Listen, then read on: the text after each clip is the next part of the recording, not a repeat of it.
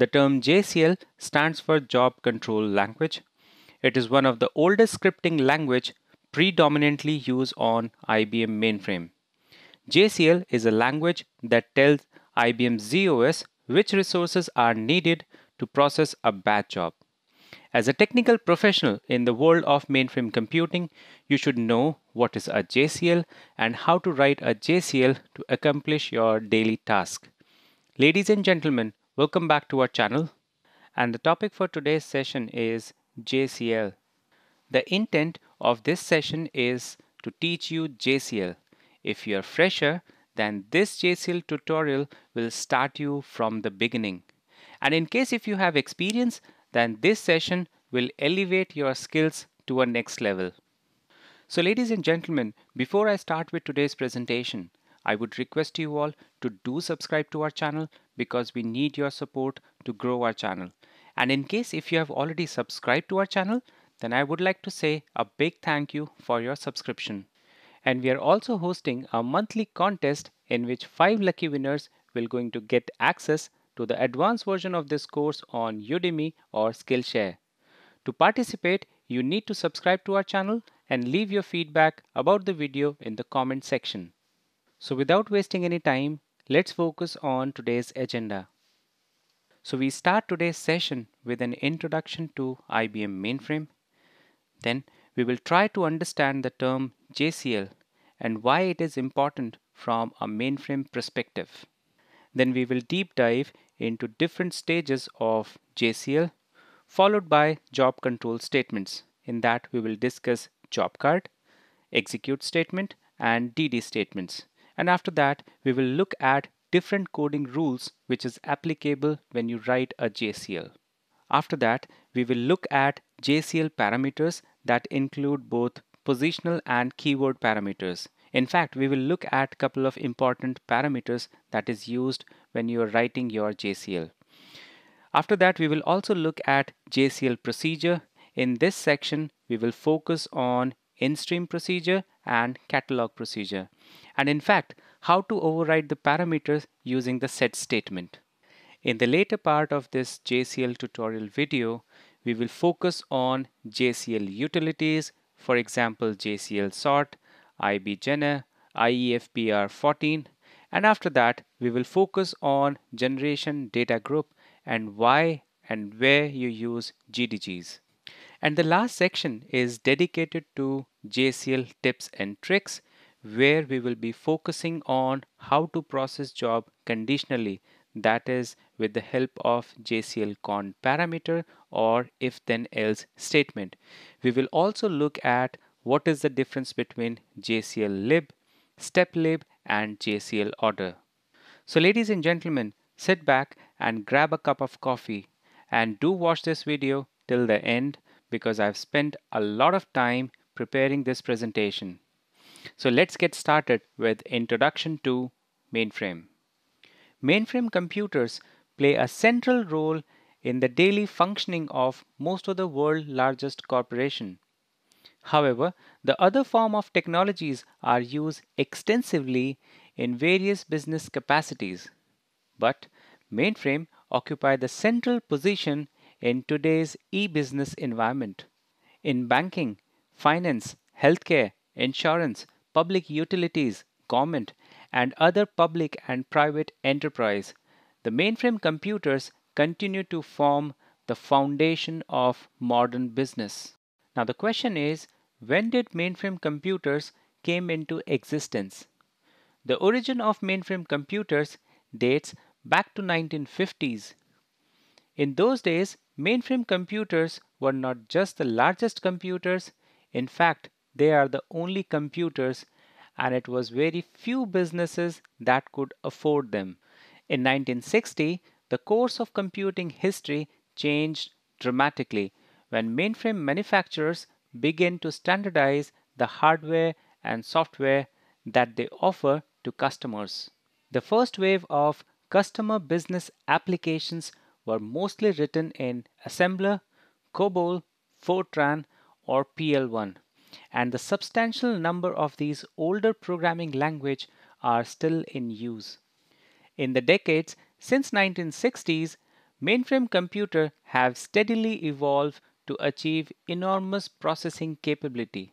In today's era of cloud computing, mainframe is still considered as the most powerful, secure, and reliable computing platform. Now, let's focus on the term JCL. So the term JCL stands for Job Control Language and it is primarily used on the IBM mainframe to convey information to ZOS operating system through a set of statements called as job control statements. JCL is a scripting language. In fact, it is one of the oldest and robust scripting language. Precisely, the purpose of JCL is to provide information related to the program, dataset, and the input-output devices to be used during the execution of a job. Now, before discussing the different categories of job control statements, let's try to understand the different stages of JCL.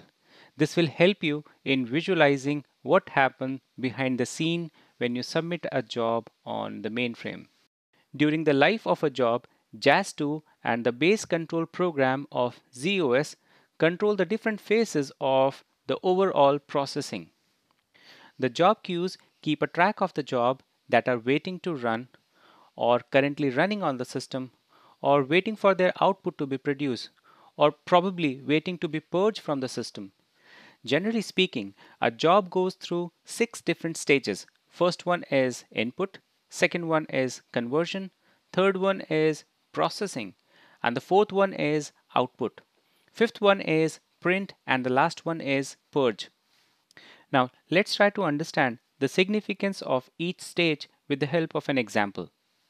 So here's a programmer who want to calculate the monthly tax for a specific department.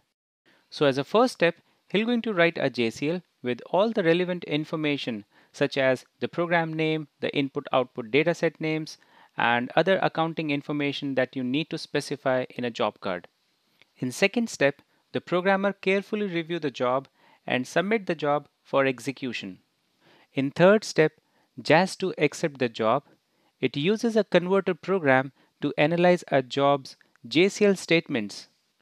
If JES2 detect any JCL error, it issues message and the job is queued for output processing. If there is no JCL error, then JES2 queues the job for execution. In the processing stage, ZOS execute the job.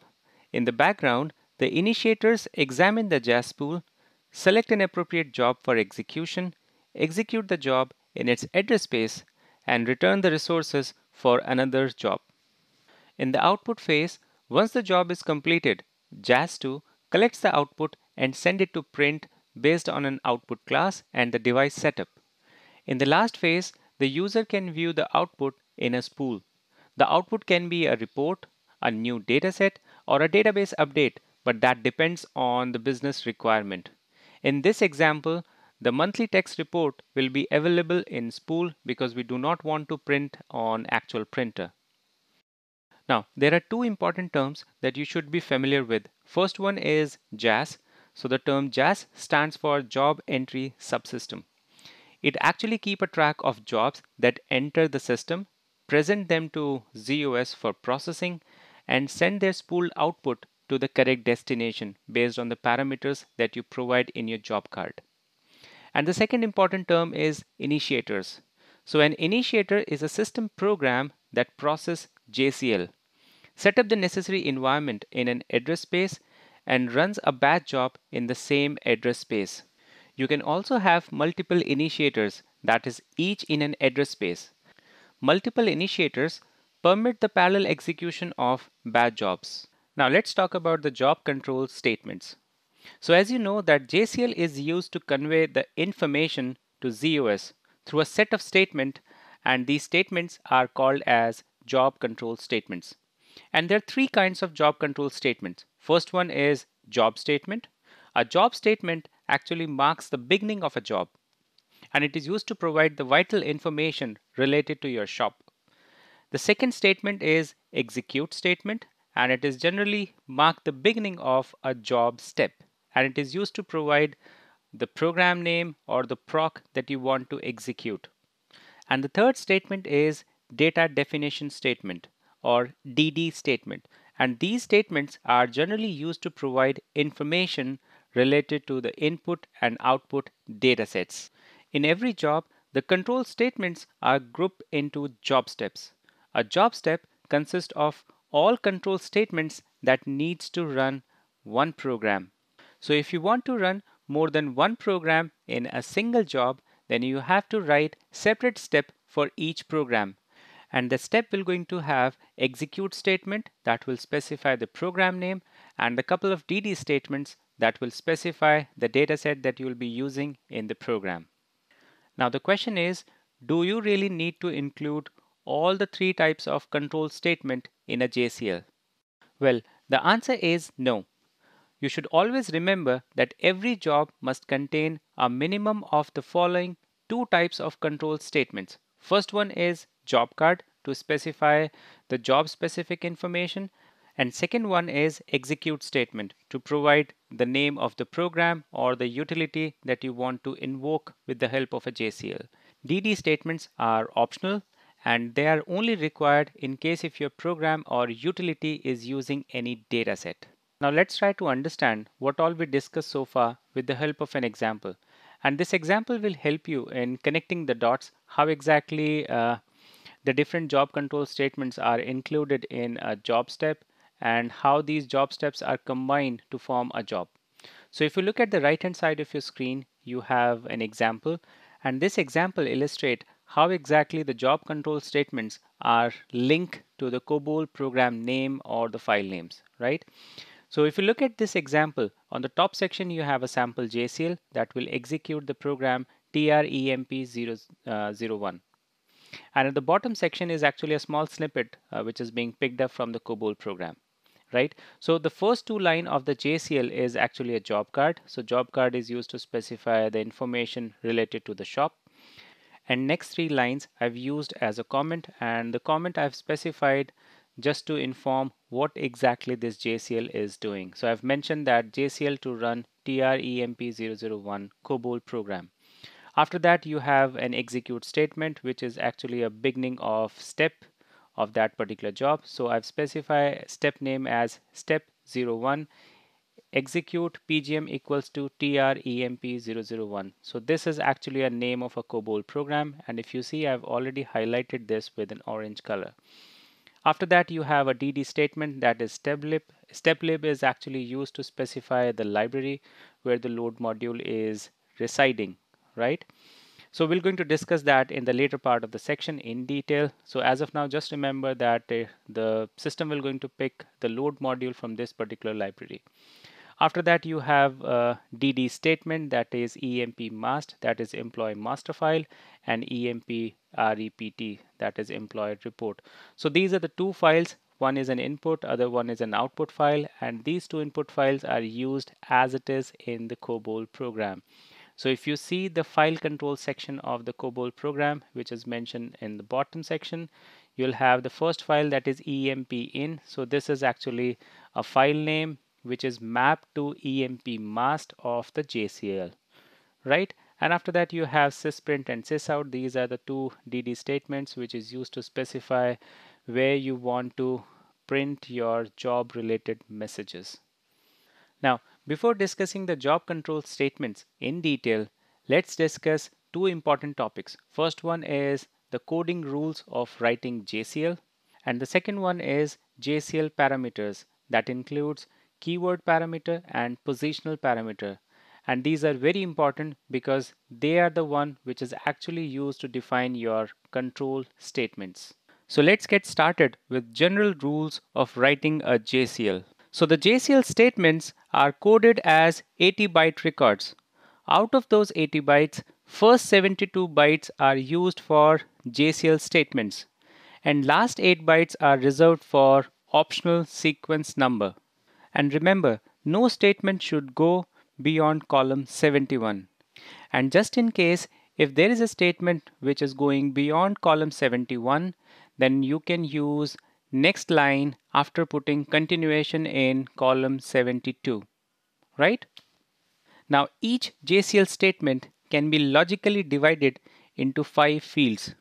First one is identifier, second one is name, third one is operation, fourth one is parameter, and the fifth one is comments. And remember, it is not necessary to have all these five fields on each and every JCL statement, right? So now let's look into all these fields one by one. So the first one is identifier field. The identifier field start in column 1 and it is used for all standard JCL statements. Every JCL statement should start with an identifier field that is 2 forward slash and after that you can have a name or an operation field. Now the important point is that there are four different exceptions to the identifier field. First one is if you're using 2 forward slash followed by a name or an operation so it would be treated as a normal JCL statement. In case if you're using a single forward slash followed by asterisk, then it would be treated as end of the statement. And it is generally used whenever you're using SYSIN to pass certain data to your JCL. Apart from that, you have two forward slash followed by asterisk, then it would be treated as comment. That means that is generally used whenever you want to include any comment what exactly this JCL is doing. And the last one is 2 forward slash followed by all spaces. So that is treated as null or end of the job. The next field is name field and it begins in column 3. The name field is generally used to provide the name to a JCL step. In case if you're writing a job statement, then you have to specify the name. In case if you're writing EXE or DD statement, then it is optional. The minimum length of name field is 1 and the maximum length is 8 characters. The next field is operation field and this field is used to specify a valid operation code such as job, exe and dd for job card, execute statement and dd statement.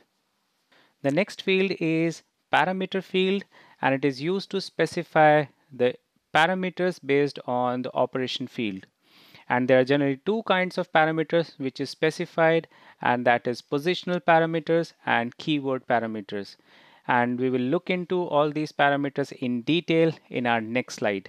So as of now just remember that this section or this particular portion is confined for different parameters that is defined based on the operation. If it's a job job uh, operation then it would have parameters related to a job card.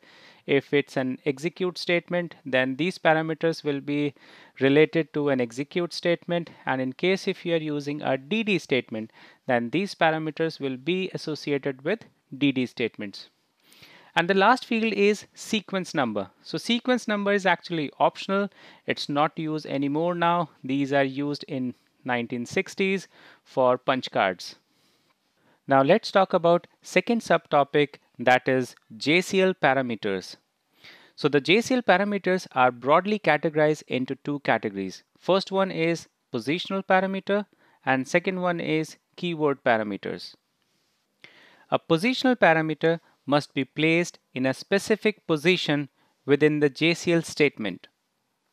If you want to omit a positional parameter, then you must replace that parameter with a comma.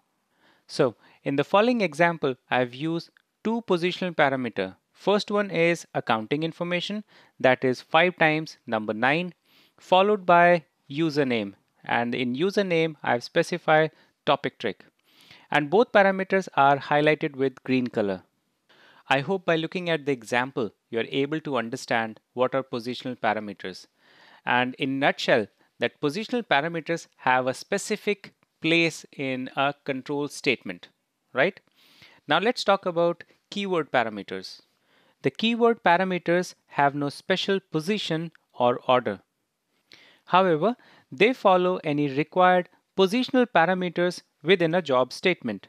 For example, in this case, the keyword parameter message class and message level is coded after the positional parameter that is accounting information and username. And always remember that a keyword parameter is always followed by an equal sign and a value. So in this example, message class and message level are the two keyword parameters which is used in job statement. Now, let's get back to our original discussion of job control statements and let's discuss each job control statement one by one. So the first one is job control statement or job card. A job statement is the first statement of any JCL. It marks the beginning of a job and assign a name to it. The job statement is used to provide certain administrative information including security, accounting, and identification information. And you should always remember that a JCL can have one and only one job card or a job statement. You cannot have more than one job card in a single JCL. Now, let's deep dive into the syntax of job card.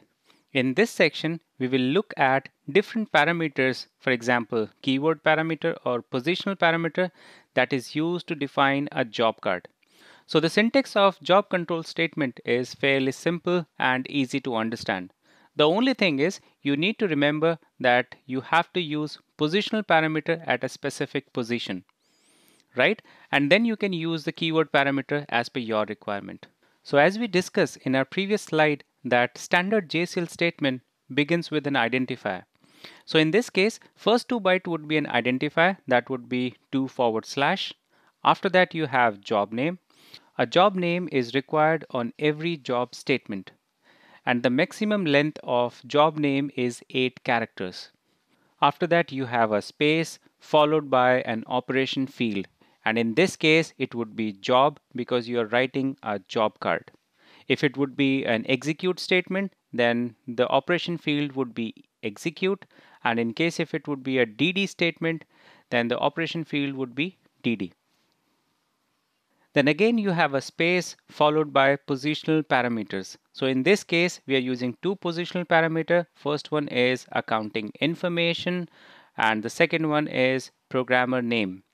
Accounting information actually denotes a group or a department that actually owns the billing of a job based on CPU usage. And the second parameter is programmer name and it is used to denote the name of a person who is actually responsible for the job. However, in most of the cases, we use either the department name or the project name or probably a group name instead of an individual programmer name. The next set of parameters are keyword parameters and as you know that there is no specific sequence and you can code them in any sequence of your choice. The first parameter is class parameter and you can use the class parameter to assign the job to a class. And again, the class you should request depend on the characteristics of the job. And of course, it also depends on the rules which is used to assign a class. The next parameter is message class and it is used to assign the job log to an output class. The job log is a record of job related information and remember the value of message class should be a valid and it can be between A to Z or 0 to 9. And before providing this value, it is always recommended that you just go back and check the possible value with your system administrator. The next parameter is message level and it is used to control the listing of JCL output for a job. It is actually a single digit that specify which JCL statement should be printed. And in message level, you pass two subparameters. First one is for statement, other one is for message and the possible value of statement is 0, 1 and 2 and for message is 0 and 1. So as a practice we just pass 1 for both statement and message. So in most of the JCL you'll see message level equals to 1 comma 1 so that means you're going to print all the messages related to a job statement or system related messages. The next parameter is notify and it is used to notify the user automatically when the job is completed. So, so far we have discussed couple of important parameters which is used to define a job card. So these are not the only parameters. We do have couple of more parameters that are used in a very specific situation. For example, time parameter, which is used to provide the time and in case if uh, your job fails due to uh, time exception then probably you can allocate the maximum time to a job similarly you have region parameter then you have restart parameter which is generally used to restart your job then you have type run parameter, which is generally used for special job processing. So we're going to discuss about all these parameters in JCL tips and tricks section. Now let's focus on the execute control statement or exec statement. So as you know, the exec statement marks the beginning of a step within a job.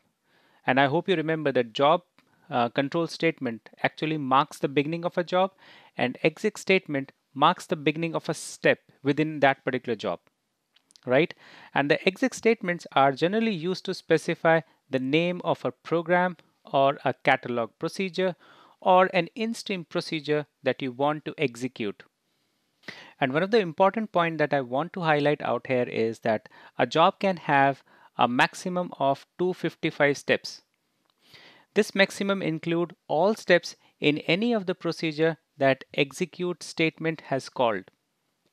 Now let's talk about execute statement syntax and let's see what are the different parameters which is being used when you're writing an execute statement. So as you know that execute statement is used to specify the program or the proc name that you want to execute with the help of the JCL.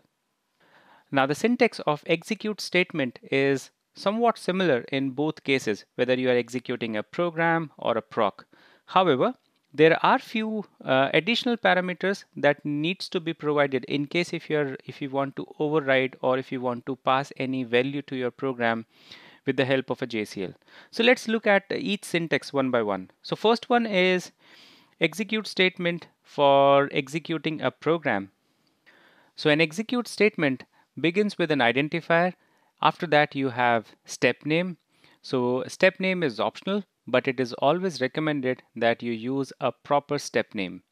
After that you have an operation keyword. So in this case it would be exec because we are writing an execute statement. After that you have pgm equals to program name. So this parameter is used to specify the name of the program that you want to execute. Although the pgm parameter looks like a keyword parameter, but it is a positional parameter and it must be coded first on the exec statement. The next parameter is PARM and it is generally used to pass information to your program with the help of a JCL. Now let's look at the different variant of execute statement and this variant is generally used to execute proc and it could be your in-stream proc or catalog proc that depends on the nature of requirement or the way you are designing your JCL. So in this case, the syntax is almost same. You have an identifier, then you have step name, then you have uh, exec statement. And after that, you have a positional parameter once again, and that is proc equals to, where you have to specify the proc name that you want to execute. And in case if you want to override the value of any parameter which is defined in your proc, then you can use the parameter dot the proc step name followed by a value. So in this way, you can add, modify or nullify the parameters which is defined in your procedures or proc. And remember, proc equals to proc name is a positional parameter. It's not a keyword parameter, right? Now let's focus on DD statements or data definition statements. So DD statements are generally used to define data sets that you generally use in your programs. The data definition statement or DD statements are used to define the characteristics of a dataset. When I say characteristics, that means the record length, storage requirement, and its organization. The syntax of DD statement is bit complex because the parameters can be coded in various combinations depending on whether the dataset is new or old, temporary or permanent or maybe catalog or uncatalog. Now let's focus on the different parameters that you generally include when you're writing a DD statement. The syntax of DD statement begins with an identifier. Then you have DD name, which is actually a symbolic name of a dataset that you are accessing in your program. After that, you have DD as an operation field, and then you have DSN name. So DSN name is used to specify the file dataset name. The next parameter is disposition parameter and it is used to describe the status of a dataset and the processing of a dataset at normal and abnormal termination of the job. The disposition parameter may have up to three positional subparameter and if one or more subparameter is used then it has to be separated by comma the way I have just mentioned in the slide. So we're going to discuss all these parameters in detail in our next slide. The next parameter is unit and it is used to specify group name, device type or device number that identify the device where the file is residing. And remember, if the file is already catalog, then you are not required to code unit parameter. The next parameter is volume equals to serial and it is used to specify 6 character volume serial number of the volume that contains the file. Again, it is not required in case if your dataset is already catalog. The next parameter is space and it is used to specify the DASD space to be allocated for the file. And finally, the last parameter is DCB and it is used to specify the characteristics of the file. When I say characteristics, it means the record format, logical record length, and the block size. Now, let's deep dive into the DD statement parameters and subparameters that we have discussed so far so that you can have a complete picture and what, and what are the different permutation and combinations through which you can write a DD statement. So the first one is DSN name and as you know that DSN name is used to specify the actual dataset name.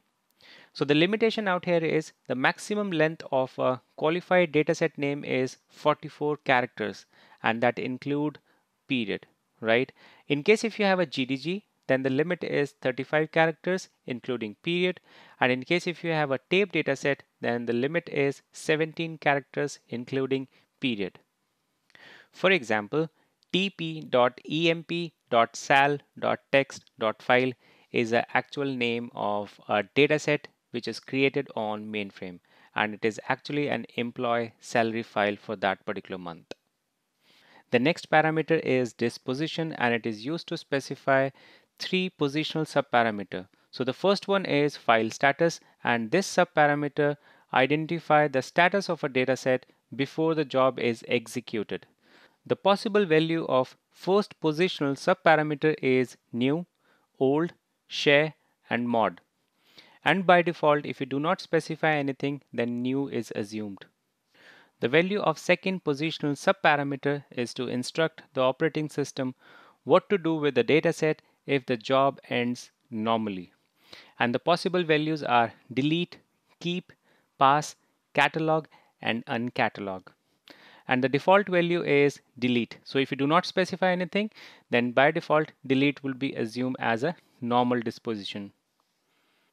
So eventually, if you specify file status as new, then normal disposition would be delete and if you specify file status as old, share or mod, then normal disposition would be keep. Finally, the value of abnormal disposition parameter instruct the operating system what to do with the dataset if job ends abnormally. And the possible values are delete, keep, catalog, and uncatalog. Now the next parameter is unit and as you know that this is used to specify the tape or disk devices where actually your dataset reside. So in case if your dataset is already catalog, then you're not required to specify the unit parameter. And in case you want to um, allocate a file, then you have to specify the unit parameter, right? And in general, we, we use SysDA or tape. And in case if you have any specific device number, then you can use a device number also.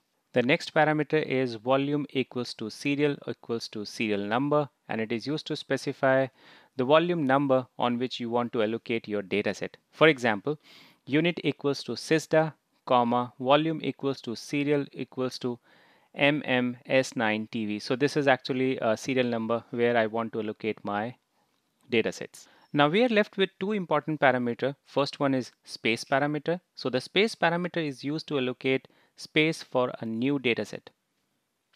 And again, it's a combination of multiple subparameter So let's try to understand what's the significance of each subparameter. So the first subparameter is unit and it is actually used to establish the unit of measure for a space allocation. And in most of the cases, it is cylinder or track. And if you are using cylinder, then you would be using short form CYL. And if you're using track, then the short form would be TRK.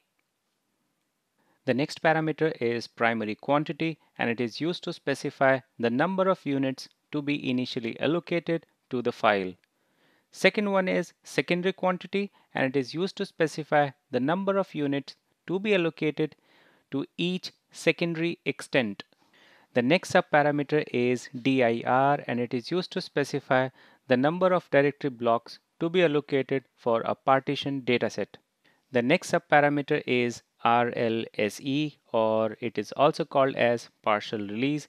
It is generally used to release the unused space when the dataset is closed.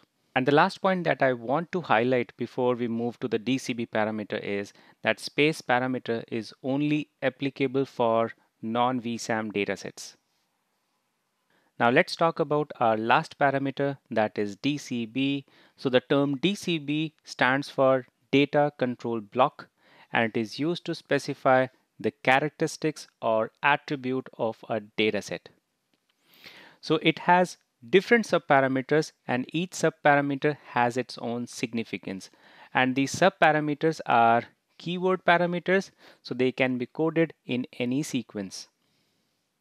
The first subparameter is dsorg and it is used to specify the dataset organization and the following values are the possible values. First one is PS that is physical sequential, PO that is for partition, DA that is for direct and IS for index sequential. The second subparameter is record format that is recfm and it is used to specify the format of file records.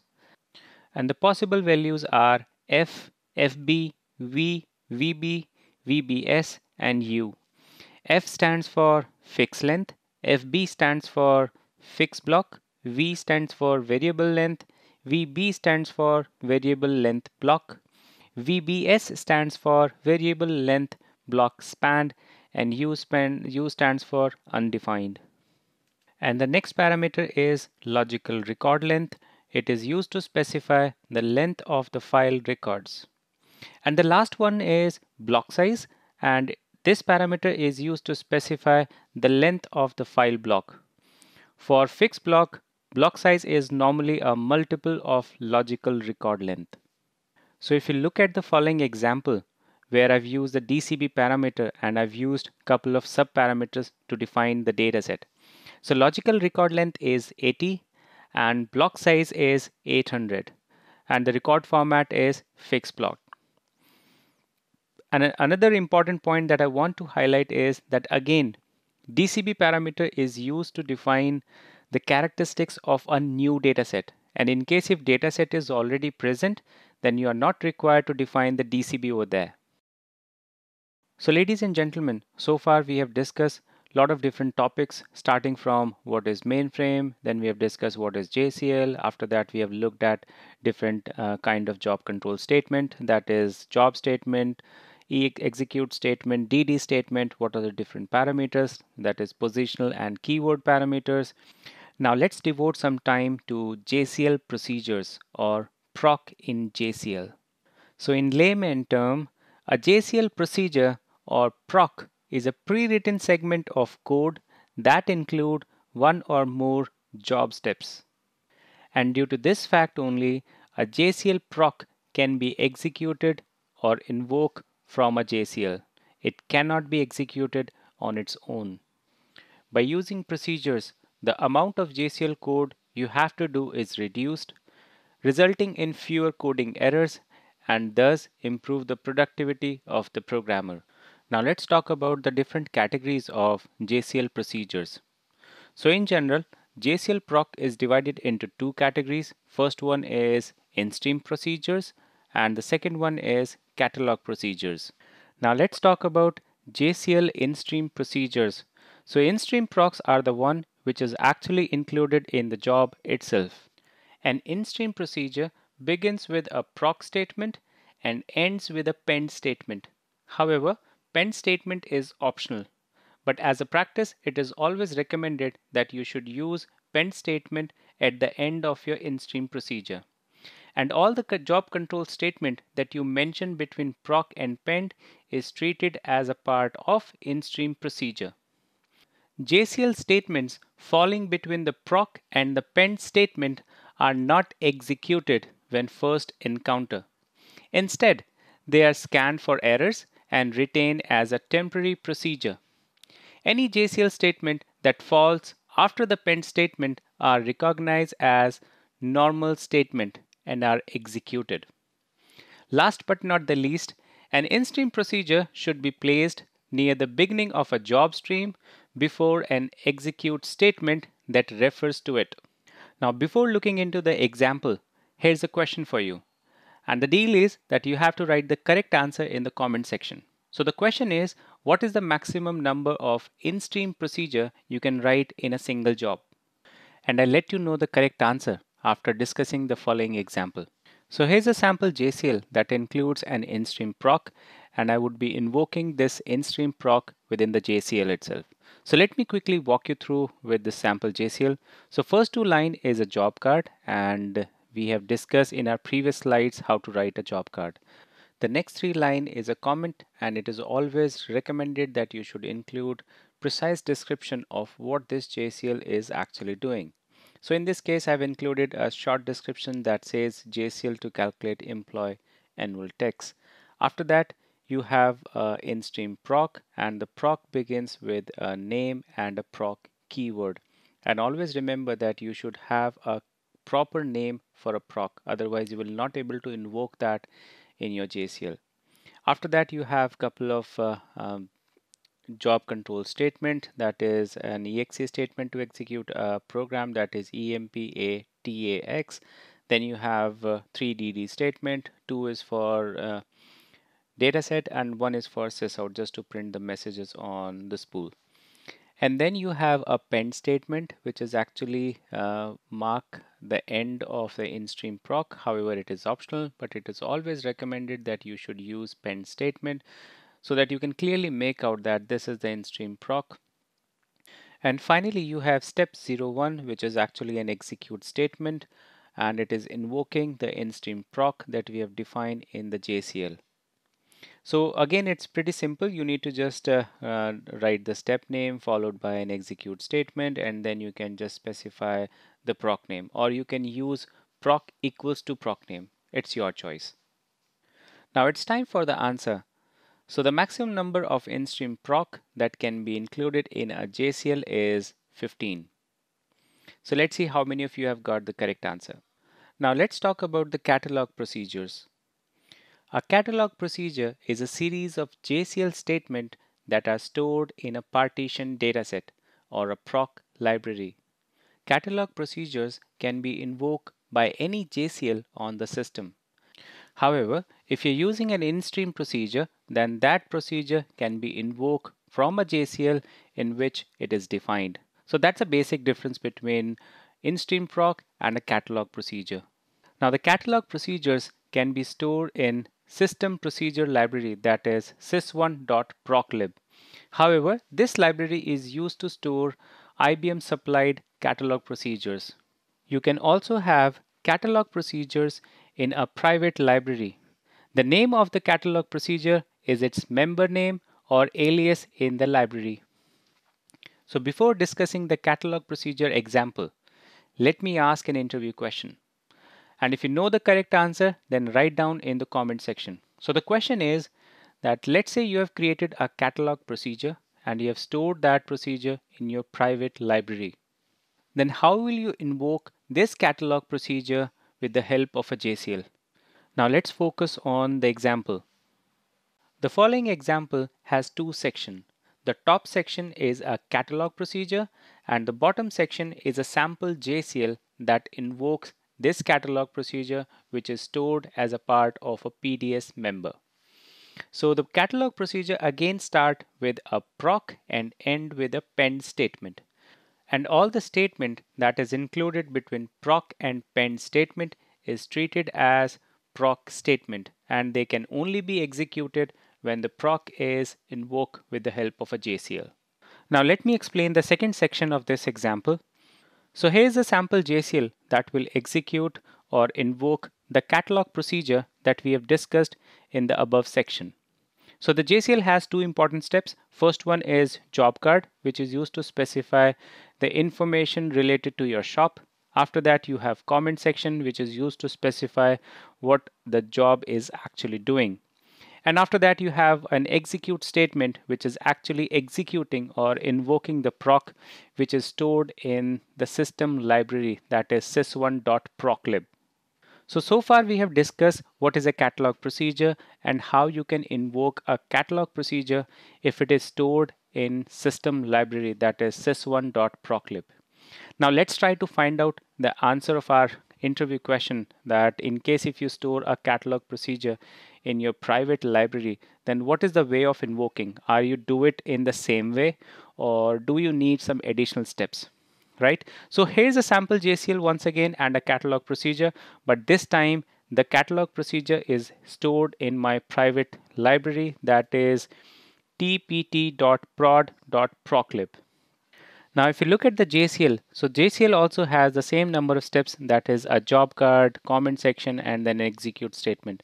The only additional step that I've included in this JCL is JCL lib order. So JCL lib is actually used to provide your personal PDS where you have stored the catalog procedure. So whenever you create a catalog procedure and you store it in your personal PDS, then you should always use JCL lib before invoking that catalog procedure. Otherwise, the job will fail because system by default try to look for your catalog procedure in system libraries that is sys1.proclib. And always remember that JCL lib statement should be specified after the job statement and before the first execute statement, the way I have done in this particular JCL. Now let's look at the search sequence of uh, this particular example. So in this example, because I've specified the JCL lib, so system by default will going to search the catalog procedure in my personal PDS that is tpt.prod.proclib. And in case if catalog procedure is not present in the private library, then system will try to retrieve the catalog procedure from system library that is sys1.proclib. Otherwise, it will just retrieve it from the private library and continue the execution of the job. Now let's talk about two important topics. First one is how to override different parameters in proc and second one is symbolic parameters. So before we discuss symbolic parameters, let's try to understand how to override different parameters in proc. So in general, you might have come across with a situation where you need to modify the file name or you need to pass any additional information to the program which is used in a proc or a procedure. So in such situation, you have two options. First one is you go back and change your proc or your JCL and the second option is you can use proc overriding technique. So the proc overriding technique is the most preferred option and it will enable you to add, modify or nullify the values of subparameters which is used in a proc. And with this technique, you are not required to change anything in in-stream or catalog procedures. Now let's try to understand the syntax of overriding the subparameters used on the proc execute statement and the DD statements. If you want to override the existing value of any specific subparameter which was defined on execute statement of a proc. So in that case, you have to specify the parameter name dot step name on which it is defined followed by the value. And in case if you want to nullify the value of specific parameter which is defined on a specific step of a proc, then you have to follow the same process. The only thing is that you are not required to specify the value after the equal sign. And if you want to add a specific parameter to all the execute statement of a proc, then you have to specify the parameter name followed by its value. You are not required to specify the step name. because if you specify the step name then that parameter will be added to that particular step of a proc. If you want to modify or add DD or output statement in a procedure then you can code the appropriate parameter on DD and output statement that follows the invoking execute statement. And if you want to nullify a parameter, then you can code the parameter without any value. That means you're not required to pass the value after the equal sign. The procedure step name is only required on the first override DD statement for a step. However, you can omit that on subsequent DD statements, but you need to remember that override must be coded in the same sequence as the DD statement in the procedure step. And in case if you want to override the output statement at a job level, then you are not required to specify the procedure step name. And before we look into the example, I would like to highlight that whenever you override any execute, DD or output statement, make sure you include all the subparameters that are not supposed to change or that will remain unchanged during this override process. So here's an example that illustrate how you can use the proc overriding technique to override the DD statement and execute statement. And this will clearly explain what all we discussed till now. So again, there is a sample JCL and we are using the same catalog procedure that we have used in our previous example. So in this case, first two line is again a job card and after that you have next three line which is actually a comment section that let you know what exactly this job is doing. So the next step is step 01 which is actually an execute statement. And this execute statement is invoking or executing the catalog procedure that is emptx010 and what I'm doing is I'm just adding a keyword parameter that is time parameter to the proc and if you see the proc and the right hand side of your screen you'll notice that there is no time parameter. So this is an additional parameter I'm adding to a step that is emptx010 and due to this reason only I've specified the keyword time dot the step name of that particular proc that is emptx010 and after that I've specified the value. And in next step, what I've done is I've just override the DD statement. So if you notice that EMP REPT is an employee report, if you look at the catalog procedure, it has a DSN name as tp01.employeefile.report. And in my JCL, I've just replaced the name with a different file.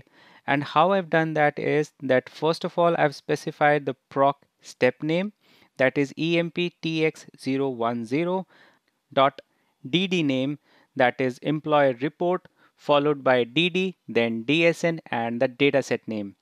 And after that you have to specify the disposition of the file whether it would be a share, new, old catalog as per your requirement. So with the help of override proc technique you can modify or change any of the keyword parameters which is defined on execute statement or on DD statement. In fact, you can use proc overriding technique to change the file name or override the file name which is defined in your catalog procedure. And the best part is you are not required to change anything in your catalog or in-stream procedures. Now let's talk about another important topic that is JCL symbolic parameters. And they're very important from programmer perspective because they, they with the help of JCL symbolic parameters you can write uh, catalog and in-stream procedures in a more generalized way right? And with the help of set statement you can set the param the value of these parameters and those procs or those catalog and in-stream procs can be used across multiple jobs. And you only need to just change those parameters with the help of set statement. So let's begin with the definition of symbolic parameters. In layman term symbolic parameters are used to write catalog or in-stream procedures for general use. When you use symbolic parameter, you don't code the actual parameter value in the procedure. Instead, you code symbolic parameter that can take a specific value when you invoke the procedure from the JCL. To code a symbolic parameter in a procedure, you use a name that start with an ampersand. The name can be any meaningful name you want as long as it's not a keyword parameter on execute statement. For example, ampersand time or ampersand region would not be a valid name because both are keyword parameter on an execute statement. But ampersand class and ampersand space are acceptable names. So following are the important rules that you should always remember when you are defining symbolic parameters in procedure. So first and foremost rule is that you must code a period as a delimiter between the symbolic parameter name and the text that follows it. If you want to code a period to appear immediately after a symbolic parameter, then you have to code two period instead of a single period.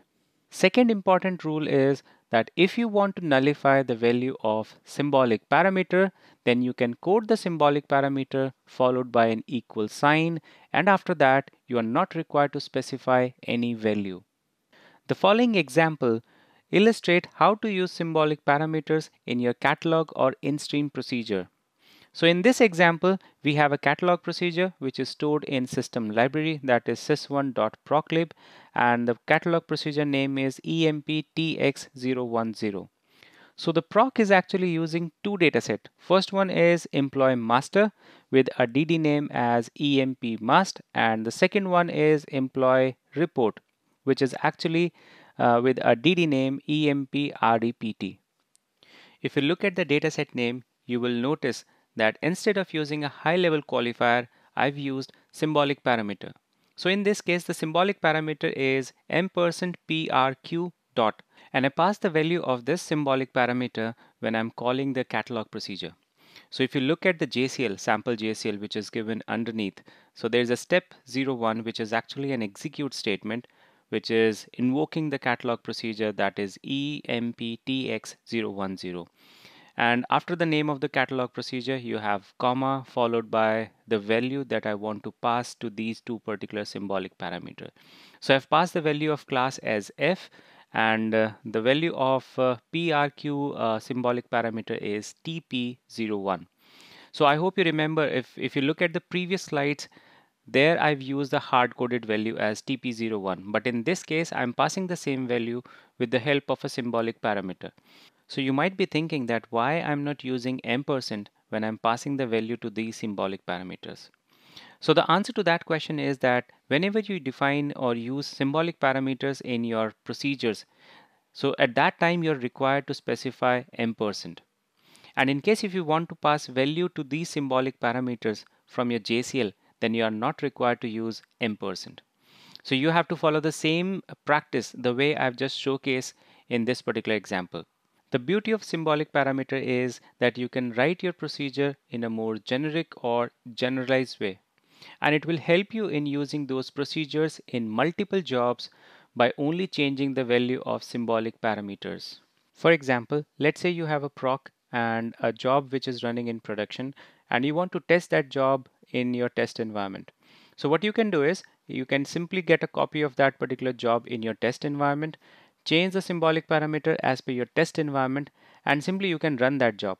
And due to this flexibility of symbolic parameters, it is always recommended that you should use symbolic parameters while writing your procedures.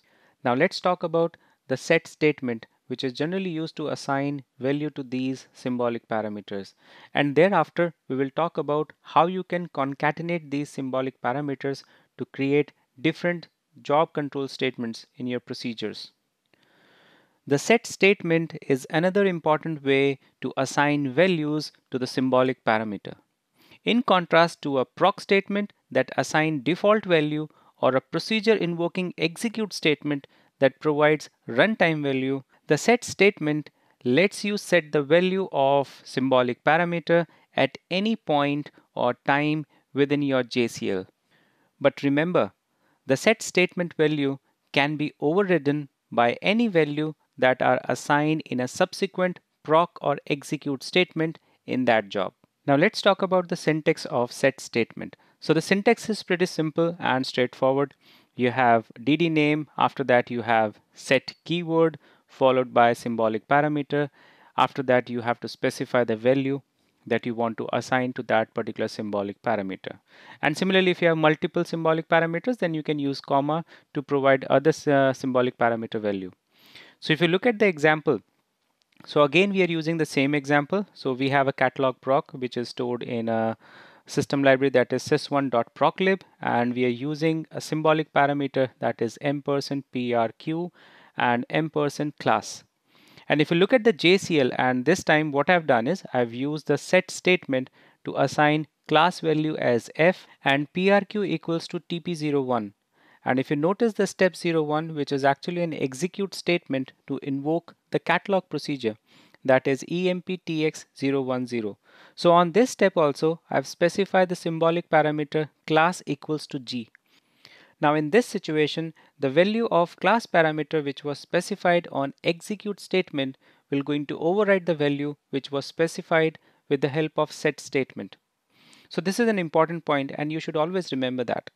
Now let's focus on how to concatenate symbolic parameters with constant value or with any other symbolic parameters and how you can use this symbolic parameter concatenation to generate various DD statements or execute statement in your catalog or in-stream procedures.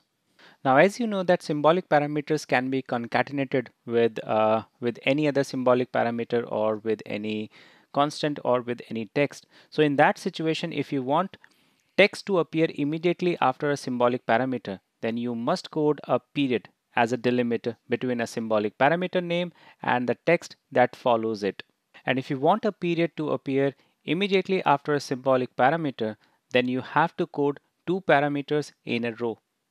So the first one act as a delimiter marking the end of a symbolic parameter and the second one will act as a part of a JCL statement. For example, when you're writing a DD statement. So in that case you need period, right? And in case if you want to nullify the value of symbolic parameter, so as always, you can code the symbolic parameter name followed by an equal sign with no value. Now let's go through the following example table to understand how you can concatenate symbolic parameters to accomplish your requirement. So this table includes four different columns. First one is serial number. Second one is concatenated symbolic parameters. Third column is a value column that will outline the value which will be assigned to these symbolic parameters. And in last column, you'll see the result what would be the outcome after you assign the value to the symbolic parameters. So in first example, you have a DSN name followed by an equal sign and after that you have a symbolic parameter that is m percent var1 and the value that I've assigned to this is tp01 so the output is tp01 so the DSN followed by equal sign will going to have tp01 once it is being translated. When you run your JCL so you'll have tp01 in second example, you have DSN name followed by two symbolic parameter that is var1 and var2. Var2 is actually specified in simple brackets and I've assigned a value as tp01 and emp sal. So the output is DSN name equals to tp01 and in bracket it is emp sal.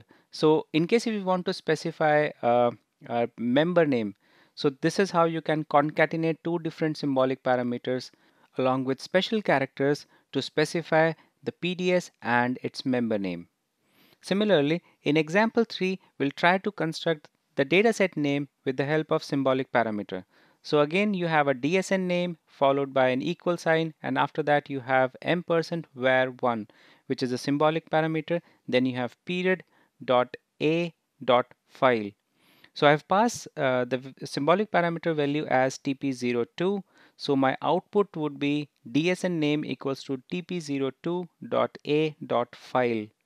So this is how you can construct the dataset name with the help of symbolic parameters.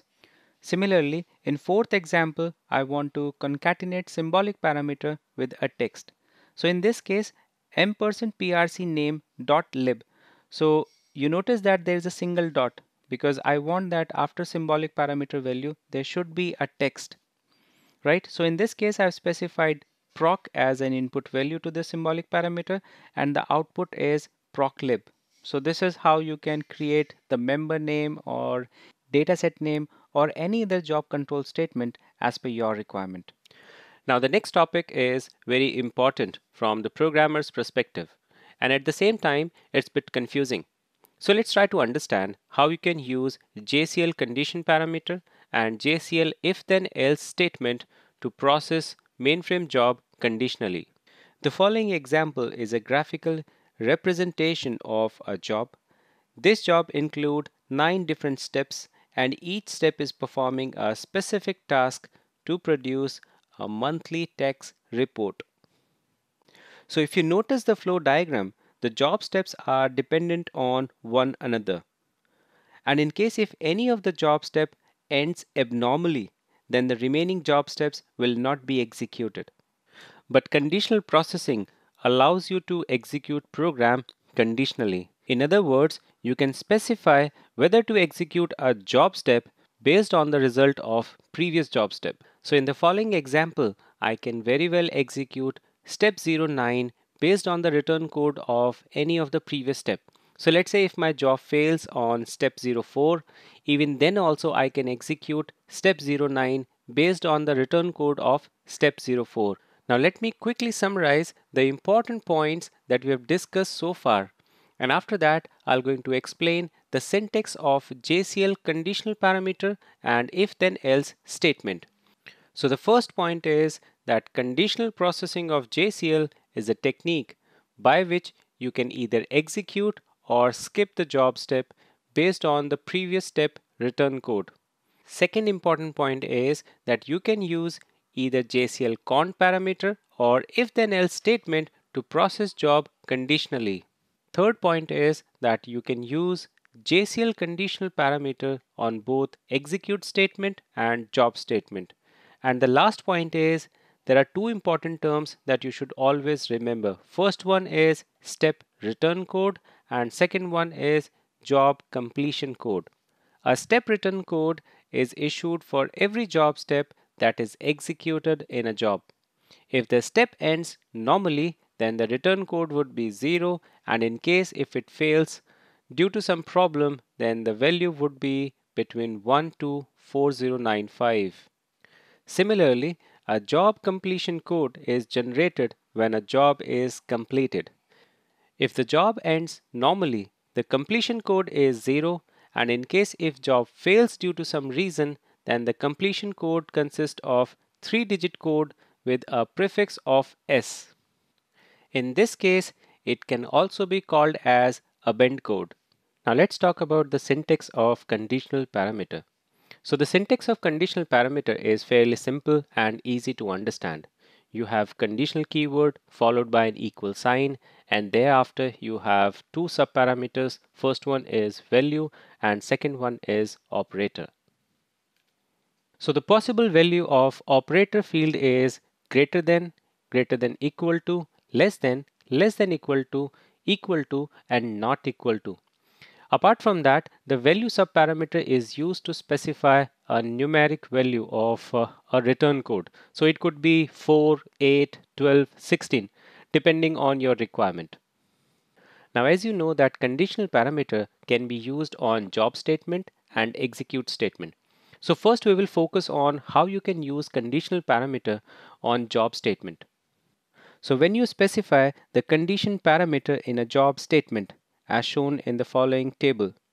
You specify the condition that caused the job to stop processing.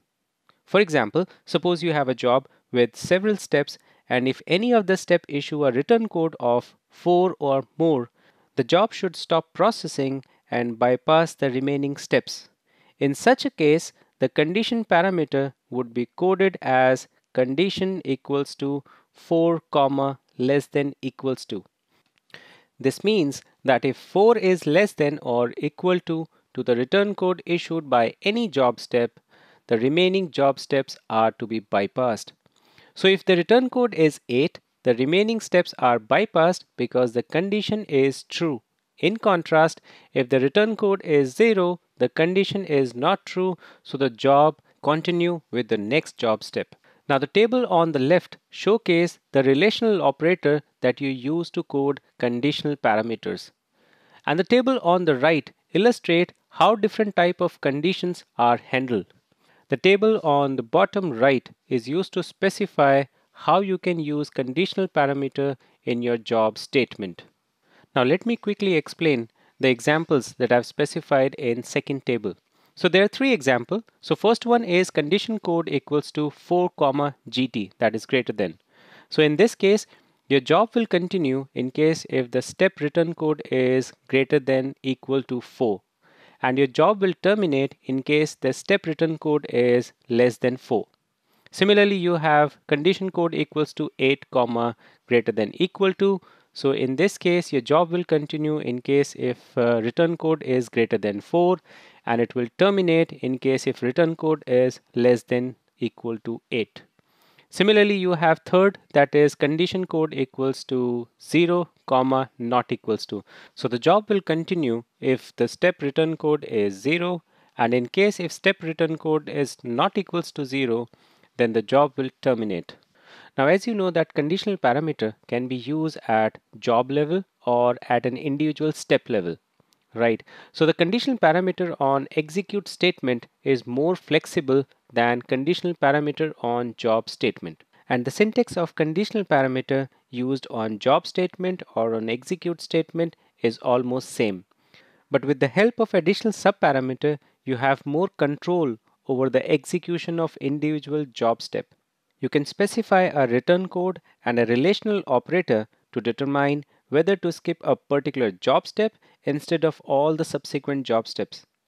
You can also specify a step name in order to test the return code for a specific job step. And you can also use two additional subparameters that is even and only in case if you want to execute certain job steps if your job fails. Now let's try to understand the use of conditional parameter with the help of an example. So the first table outline the difference between even and only subparameter. So in case if you have specified even on any job step, then the system will execute the job step even if a previous job step has abandoned. Similarly, if you have used only subparameter, then it will tell the system to execute the job step only if a previous job step has abandoned. So in nutshell, the only subparameter is useful for steps that perform recovery processing in case if your job abandoned and it is usually coded as the last step in your JCL or a job. The even subparameter is useful for steps that do not depend on the successful execution of previous steps. So if you do not specify even or only subparameter in any of the step in a job, then in case if any of the step fails, then rest of the subsequent steps will be bypassed. Now let's focus on second table that outline two example.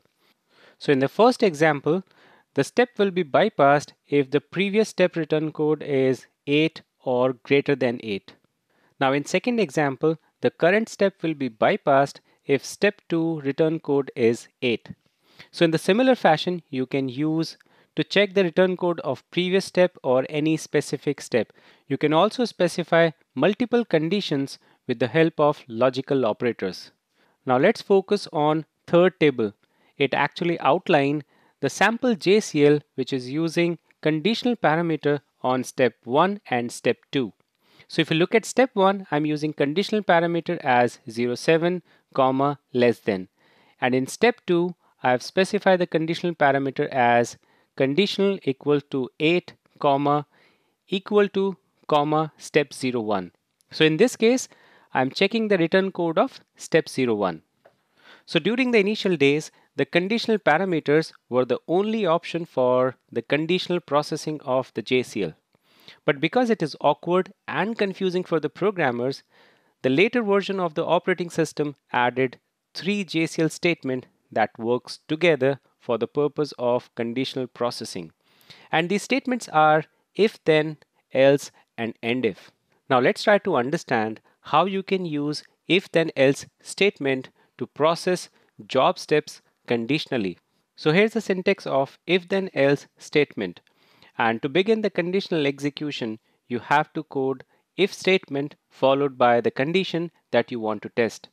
After the condition, you have to code then clause followed by whatever JCL statement you want to execute if the condition is true. And if required, you can code else statement followed by whatever JCL statements you want to execute in case condition is false. And finally, you end the conditional structure with end if. So with the help of an if then else statement, you can specify conditions in your JCL and it works in the same way as if you're coding if then else statement in your COBOL, Java, C++ or any other high level programming language program. And in order to specify the relational expression or condition in your if then else statement, you can use the keyword RC followed by an operator and then a specific value that you want to check. And RC is generally used to specify the return code of a previous job step. And if you want to specify the return code issued by a specific job step or a procedure step, then you can use stepname.rc or procstep.rc. Now let's look at a couple of examples so that you can understand how exactly you can use if then else statement to process job steps conditionally.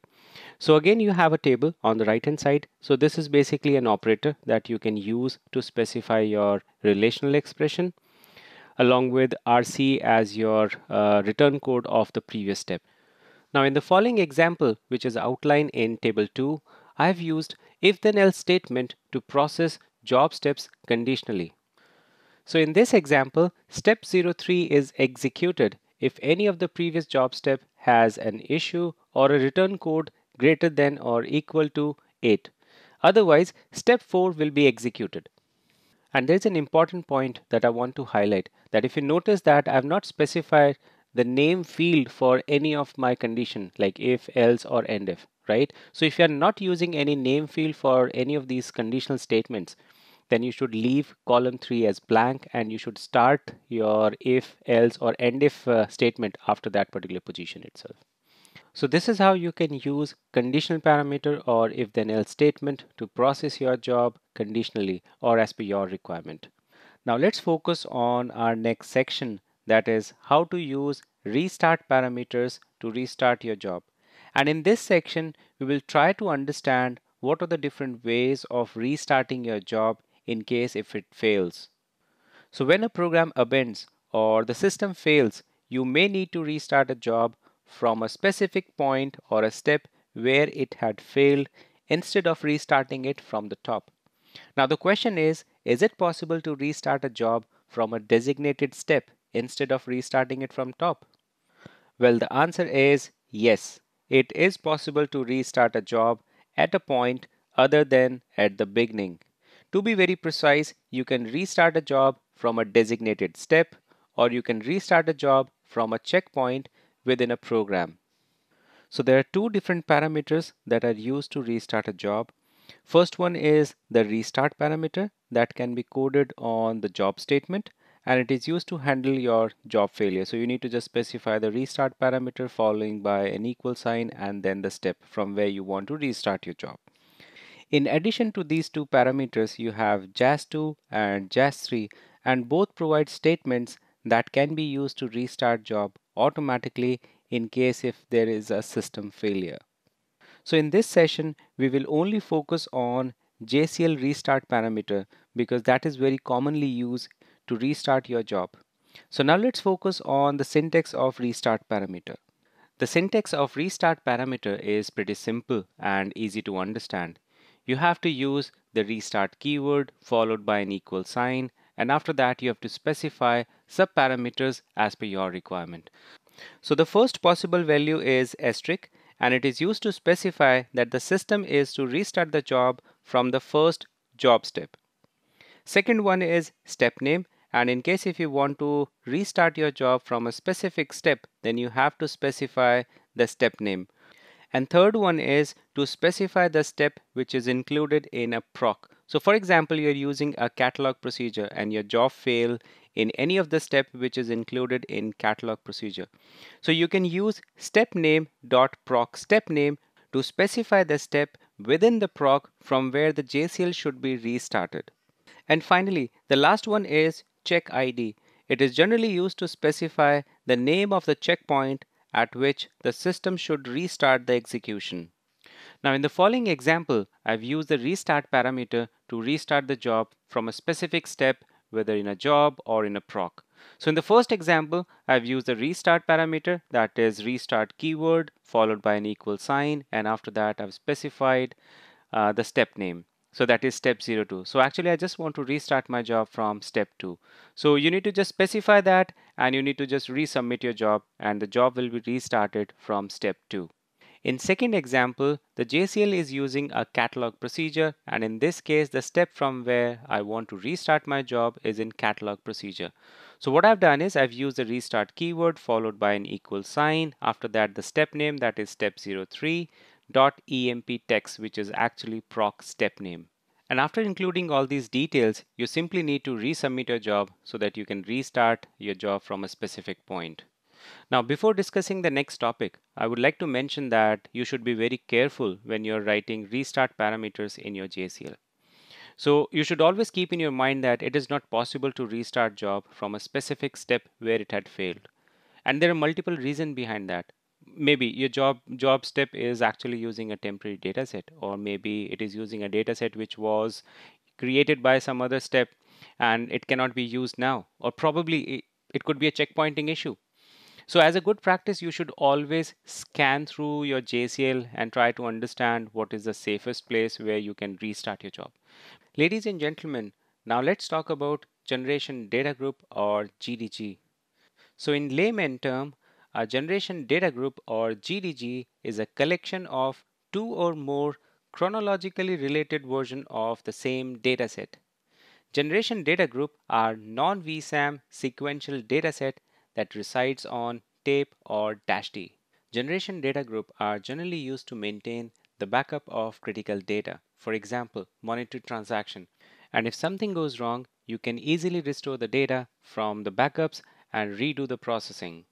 The naming convention of generation data group is slightly different from the dataset name.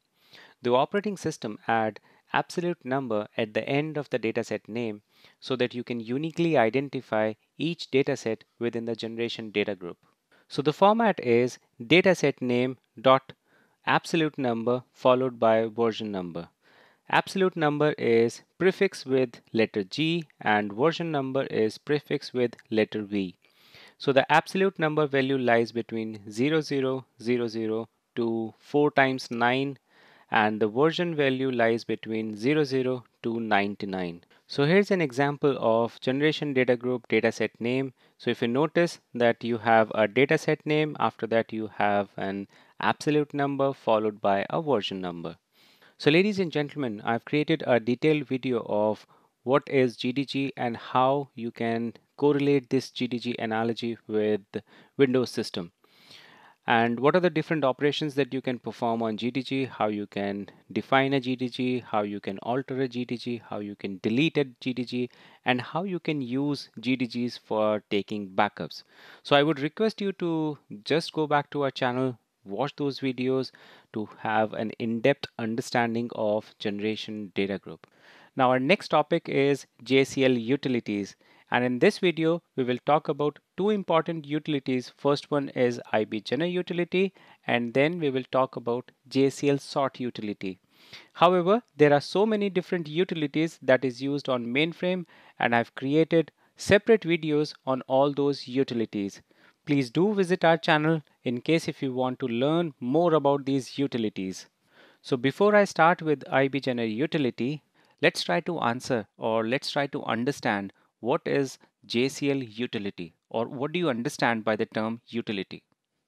So in layman term, mainframe utility programs or just utilities are the programs that can be used for common data processing functions like copying or printing a dataset. These utilities are supplied with IBM z/OS and they are widely used in batch jobs. Now let's talk about IEBGENER utility.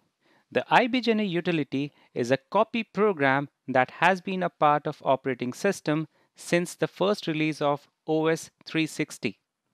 One of its many use is to copy a sequential dataset, a member of partition dataset or PDSE, or probably z/OS Unix System Services files such as HFS files. As a result, this utility can be used to backup or restore sequential datasets. You can also use this utility to print a non-VSAM sequential dataset by copying it to a sysout dataset. Finally, the common use of IEBGENER utility is to create, reformat, and backup non-VSAM sequential datasets. Now let's try to understand what are the different DD statements that are required by an IEBGENER utility. So there are four different DD statements that are required by an IEBGENER utility. So the first one is sysut1 and it is used to specify the input file. The second DD statement is sysut2 and it is used to specify the output file. The third one is sysprint. It is an output message file and the last one is sysin and it is used to specify the control parameters. And if you do not want to use control statement, the sysinddd statement is still required. So you must code it as dummy dataset.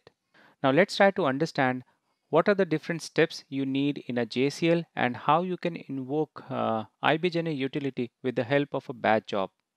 So in order to execute an IEBGENER utility from a batch job, you need three kinds of control statement. First one is a job card, which would provide all the information related to your shop. Then you need an execute statement to invoke the IEBGENER utility. After that, you need couple of DD statements and sysin card that is required in case if you are just doing reformat. And in case if you're not doing any kind of reformat, then you need to specify sysin as dummy. So here's a sample JCL that outline how an IEBGENER utility is used to take backup. So the first two step is a job card. After that you have comment section. Then step 01 is actually executing your IEBGENER utility. Then you have sysut1 and sysut2 DD statement which is used to specify the input and output file. After that you have sysprint followed by sysin and in this case I do not specify any control parameters so I've used sysinddd as dummy. Now before I show the live demonstration of how you can use IEBGENER utility to perform various operations, let me ask an interview question. So the question is what is the basic difference between IEBGENER utility and IEB copy utility? If you know the answer then write down in the comment section. Otherwise I'll give you the correct answer in the last section of this presentation. So here's my sample JCL and it includes four different steps and each step is doing a specific task. Now let me quickly explain the JCL. So the first two line is a job card which will provide all the information related to your shop. After that, I've included basic description about the job and it is always a good practice that you should write some lines about the job or the step which is being used in your JCL so that anybody can understand what exactly this job is doing. Then the first step of this JCL is to take the backup of dataset with the help of IEBGENER utility. And if you notice, step 01 is invoking IEBGENER utility and the input dataset is provided with the help of sysut1dd statement and the backup dataset name is provided with the help of sysut2dd statement. The sysinddd statement is coded as dummy because I'm not using any control parameters while copying data from the input file to the output file. In step 2, I've used IEBGENER utility to print the dataset in spool. So in order to print the dataset in spool, what I've done is I've just provided sysut2dd statement with sysout equals to star. However, there is no change in other DD statements of this particular step. Step 3 of this JCL showcase how you can use IEBGENER utility to copy a member of PDS from one PDS to other PDS. And finally, step 4 of this JCL showcase how you can use IEBGENER utility to reformat data while copying it from source file to the destination file. So in this case again I've used sysut1 to provide the input file and sysut2 to provide the output file. And in this case I've used sysinddd statement to provide additional control parameters so that it can reformat data while copying from source to destination file. Now let me quickly explain the control card. As you know that you can use IEBGENER utility to arrange or convert data format as you copy the dataset. So in this case, the generate statement summarizes the specification that you provide in the record statement. And the record statement provide the specification of the fields of the output record. Now the generate statement use two subparameter. First one is max field and the second one is max limit. So max field is used to specify the number of field parameters in a record statement. And max limit is used to specify the number of bytes of literal dataset included in the field parameter in record statement. Now before explaining the record fields, let me explain the input file. So if you look at the right hand side of your screen, this is the input file that I'll be using for step 4. So the file has four different columns. First one is employee ID. After that you have employee name. After that you have department code and the last column is employee salary. Now requirement is to prefix the salary of an employee with a static information that is emp space sal hyphen. And to accomplish this requirement, I've added record field statement in sysin. Now let me quickly explain the record field parameter of sysin. The record field parameter accepts four different subparameters. First one is length, which is the length of the field in the input record. Second one is location or literal. The location would be the starting position of the field in the input record. And in case if you want to hard code something specific or some static string, then you can use literal over there. The next one is conversion and it is the conversion operation to be performed on the field. And the last one is out location. So this is the starting position of the field in the output record. So the value of first subparameter is 23 comma 1 comma space comma 1 so it says like I would be copying first 23 byte from the input file and the starting position of the input uh, file is 1 and the starting position of output file is 1 and I'm not using any kind of conversion so my conversion is specified as spaces. The next set of subparameter is to include static string as per our requirement. So the subparameters are 8 which is the total length of the static string that is emp space sal hyphen. After that you have conversion. So we are not doing any conversion. So I've specified the spaces. And after that I've specified the starting position of the output file and that is 24. Similarly, the last set of parameter is to copy the salary column from an input file to the output file. Now let me quickly submit the job and show you the output. Now the job is submitted and we have got the job number. Let me just click on that and it's retrieving the information. So our job is completed with maxcc 0 now let me showcase uh, the output of this particular job. So let me close this particular window and on the first column you have your JCL and in next column I have my input and output file. Third column also showcase the output of the JCL that is sysout and the member which is being copied in step 3. Now if you notice column 3 it is actually showing the dataset which was printed in spool by step 02. Now again Column 3 showcased the PDS member which was copied to a backup PDS in step 03. Now let me showcase the output file which is generated by step 04 and in this file we have prefixed the salary of an employee with a static string that is emp space sal hyphen followed by employee salary. So this is how you can use IEBGENER utility in JCL to create, reformat, or take backups of non-VSAM sequential datasets.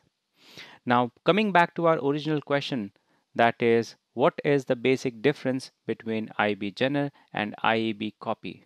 Well, the correct answer is that both utilities are used for data processing. IEBGENER utility is used for non-VSAM sequential dataset. It is used to copy, create, print, or reformat dataset as you copy.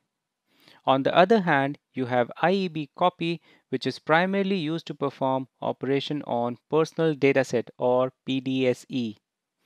It is used to copy, merge, compress, or archive a PDS into a sequential file. Now let's talk about our next utility that is JCL sort utility. As you know that sequential files are generally used to store data in mainframe this data could be anything. It could be your monetary transaction, it could be your sales transaction, or it could be any data that is related to your application. Then before the record in these files can be processed, they often need to be sorted or merged into an appropriate sequence. And to perform the sorting or merging of data, you use JCL sort utility. In layman term, JCL sort utility is an application program that can be used to perform different operations such as sorting, merging, copying, or joining data from two or more files as per your requirement.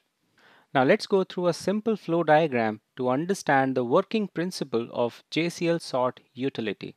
As you know that JCL sort utility can be invoked with the help of a JCL. And whenever you invoke a JCL sort utility, you need to provide an input file on which the different operations need to be performed. For example, if you want to extract certain record based on a criteria, or probably you want to merge two different files, right? So input file is the one on which the operation will be performed. After that, you have sort work file. So JCL sort utility actually use this file for the internal processing right? And what would be the outcome of the entire operation will be written into your output file. And the selection criteria is specified with the help of sysincard. Now let's go through a sample JCL to understand what are the different DD statements you need to specify in case if you want to invoke a sort utility with the help of a JCL.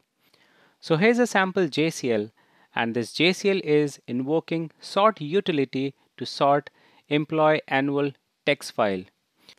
For the explanation perspective, I've divided the entire job into three different sections.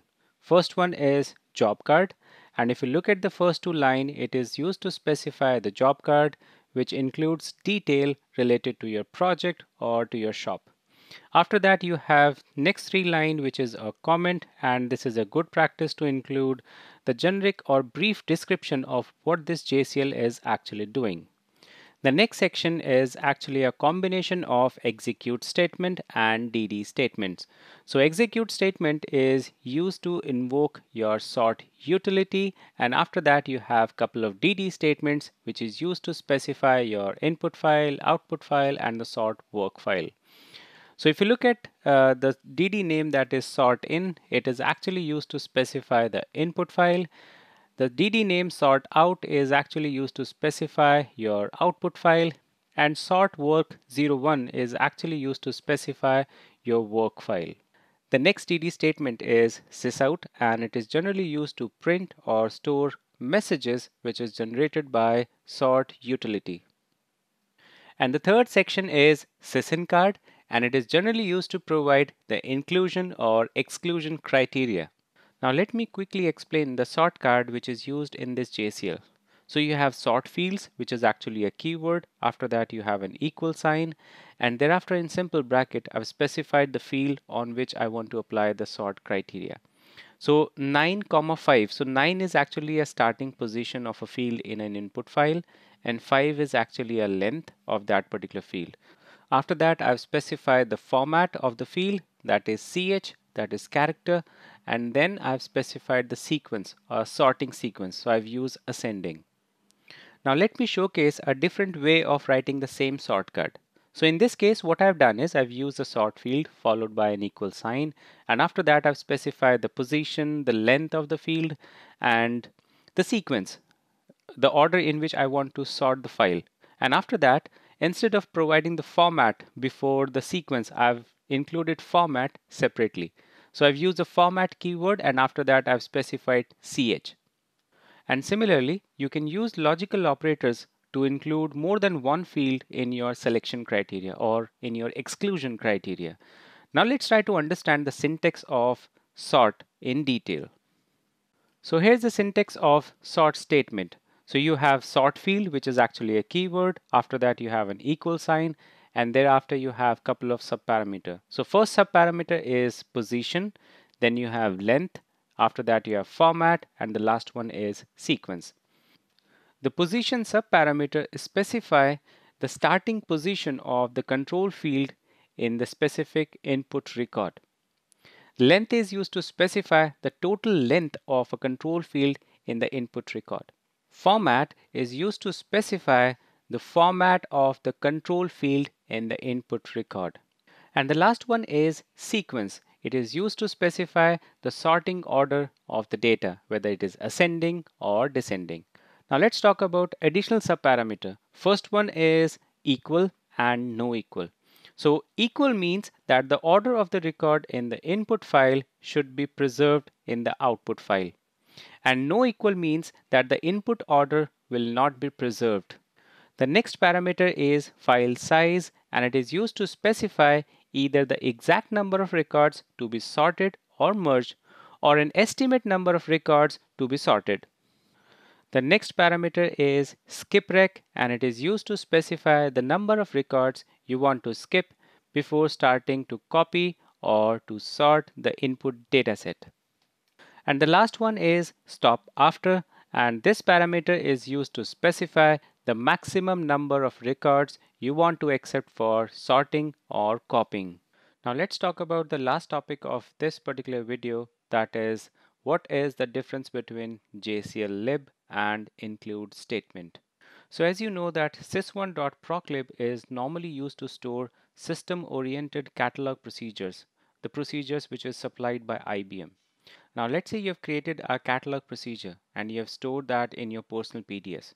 So in order to invoke that catalog procedure from your personal PDS, you need JCLLIB statement in your JCL. Otherwise your JCL will going to fail because by default it will search your catalog procedure in the system library that is sys1.proclib and you have stored that in your personal PDS so JCL will fail, right? So in nutshell, JCLLIB statement let you identify the libraries as a private procedure library that system should search to find a specific catalog procedure that you are trying to invoke from the JCL. And just in case if you have more than two PDS and you want to specify the search sequence then you can also do that with the help of an order keyword. So you can use JCLLIB followed by a space and then order and after that you can specify the PDS in a sequence in which you want system to search. And always remember that JCL statement must appear after the job statement but before an execute statement in that particular job. Now the next important statement is include statement and you can use include statement to copy text directly into your job stream. The include statement works like a catalog procedure and the only difference is that you do not code almost all job steps in the include statement. In general, you just put uh, the common steps, for example, DD statements. You can just code the DD statements in include statement and store it as a PDS member. And whenever you want, you can just directly include that in your JCL. So it's pretty handy. Like it, it just increase the code reusability like you're not required to code same set of statement again and again now here's a sample JCL that showcase how you can use JCLLIB order and include statement in your JCL.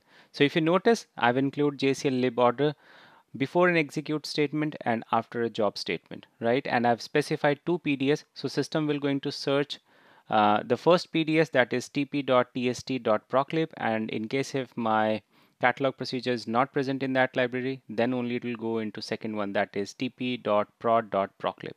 And similarly, if you look at the step two, where I just want to include DD statements, which is stored as a part of PDS member. And in this case, I've used include statement to include all the DD statement, which is required for step two.